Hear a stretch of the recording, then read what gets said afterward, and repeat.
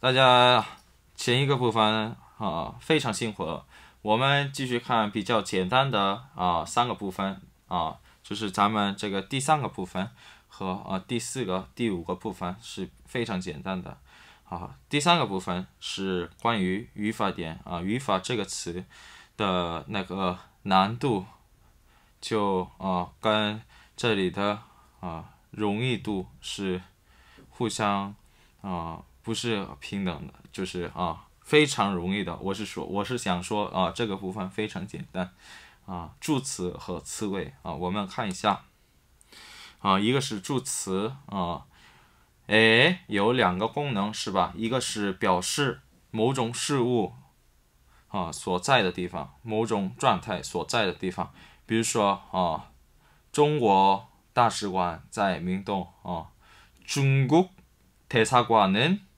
명동에 있습니다.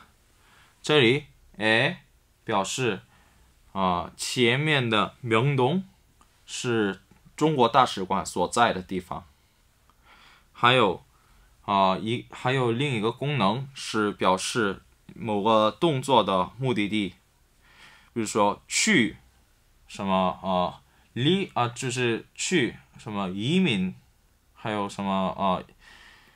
是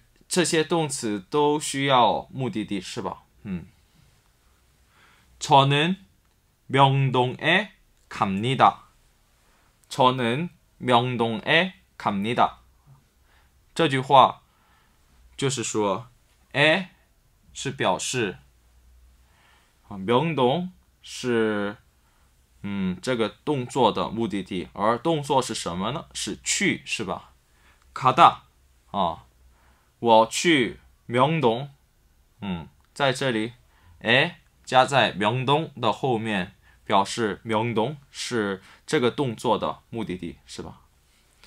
还有一个另一个助词是 “so”，“so”，先是表示啊某某种事件或者某种动作所发生的地点，嗯，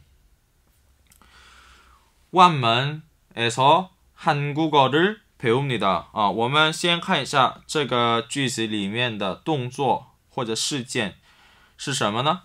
啊， 한국어를 배웁니다. 是吧? 한국어 是韩语,를是表示宾语的, 배웁니다 学习是吧？学习韩语是在这个句子里面的事件。那这个事件 发生的地点在哪里呢？是万门。嗯，万门에서한국어를배웁니다에서表示前面的万门是这个动作或事件所发生的一个地点。下一个功能是表示动作的发源地，动作的出发点。嗯，什什么样的动作需要出发点呢？比如说啊，来。 从什么什么地方来，或者离开什么什么地方，是吧？这这里的啊一些地方就是来源或者出发地。先看一下我们这个非常熟悉的一个句子：저는베이징에서왔습니다 저는베이징에서왔습니다意思就是我来自北京，是吧？在这里啊，动作是来。 来的出发点是什么呢？是北京，是吧？所以这里啊，在北京后面加 s 来表示北京是这个动作的出发点，是这样子的啊。呃，他们两个虽然都是表示某些场所的某些地方的，可是它们的功能是完全不一样的啊，大家请注意。后面是啊，这个词尾。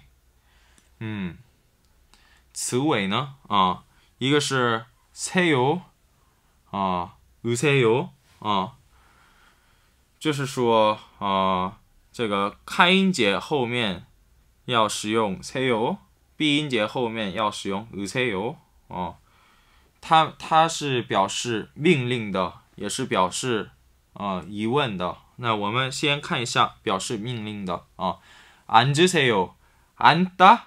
是坐的意思，坐下啊， 这样的意思啊。安达的词干是安，因为这个有收音，它跟으세요相结合啊。앉으세 요， 意思就是坐下，坐下吧，啊，这样子的一个命令。下面呢是表示疑问的啊。언제귀국하세 요？ 언제是什么时候是吧？ 귀국是回国的意思。귀국하다是回国的意思啊。귀국하다的词干是귀국 하， 而这里哈是开音节，所以后面加세 요。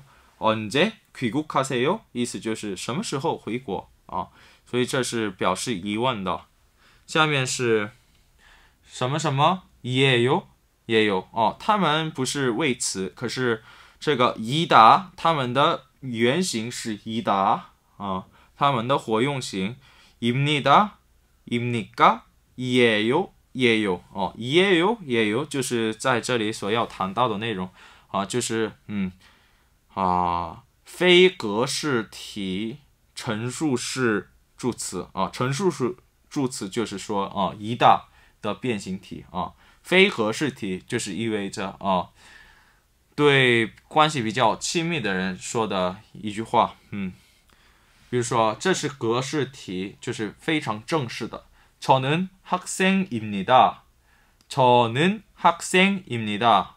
啊，我是学生。下面这个句子同样是我是学生的意思，可是他们的这个입니 다， 也有是啊差别的啊。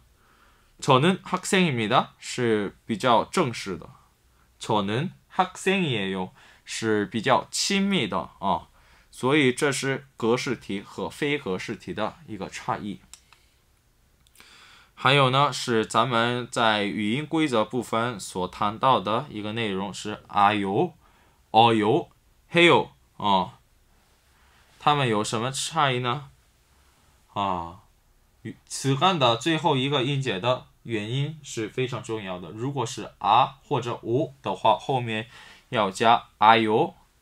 其他的元音呢是哦哟，还有啊，啊，这个词干的最后音节为哈时，这个哈就变成嘿哟啊。它们呢功能是非格式体的谓词词尾。非格式体就是咱们刚才谈的那个啊，表示关系比较亲密的。一个词为，嗯，谓词就是动词和形容词嘛，嗯，那我们看一下例子，사람이많아 요， 啊，사람是人是吧？많다是多的意思，많다的词干是满，而呃这个原因是啊，所以后面加아 요， 사람이많아 요， 人很多，嗯，下面是여기에 서。 s 就是表示这个事件发生的一个地方，是吧？여기是啊这里，事件呢是什么呢？小明을기다려 요， 哦，这个是元音紧缩现象的一个例子哦。本来是기다리和어요的结合，因为기다리리是啊不是啊或者어， 所以 后面加上어요哦，기다리哦哟，然后这里一变成这个小小的横线啊，是滑音。기다리어요是这样子的，后面是인사해 요， 인사하다是行礼打招呼的意思。大家记得我穿着汉服啊这样这样的照片吗？啊，在这里我谈过인사하다词这个单词，인사하다因为最后面的 词干的最后面的音节是哈，啊，它变成 hill。隐藏 hill 是最终的结果。那我们第三个部分就谈到这里啊，下一页是咱们的惯行词啊，更加简单的一个部分啊，大家辛苦了。